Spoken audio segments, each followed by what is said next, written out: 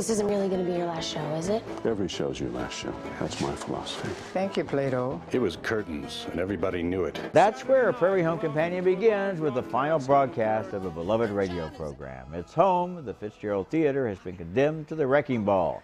GK is the host, played by Garrison Keillor, who knows a lot about keeping a show from the heartland alive on the airwaves.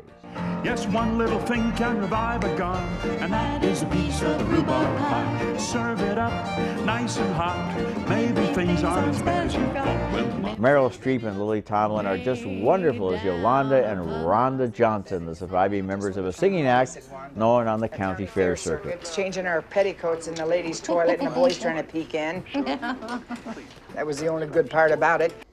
Yolanda has some personal history with GK and can't understand why he's so composed on this emotional occasion.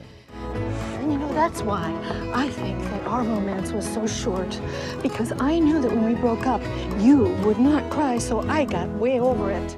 Yolanda finally gets her daughter Lola a moment in the spotlight. She's played by Lindsay Lohan, giving her own rendition of Frankie and Johnny.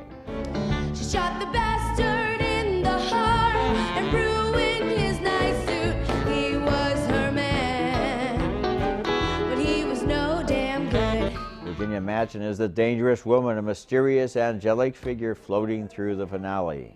Show's almost over. In more ways than one. Nice perfume. Tommy Lee Jones is Axeman, is waiting for the ensemble to take their final bows. He symbolizes investors who will demolish the theater and all of its traditions. Robert Altman is the perfect director for this film, letting us eavesdrop on the most bizarre, witty, and fascinating behind-the-scenes chit-chat. We come from people who brought us up to believe that life is a struggle, and if you should ever feel really happy, be patient, this will pass. This movie is both robust and tender from start to finish. It's a glorious tribute to memories that give our lives joy and spirit. The film expresses appreciation for things past without insisting on more. I love this movie. It's one of Robert Altman's best and one of the best movies of the year so far.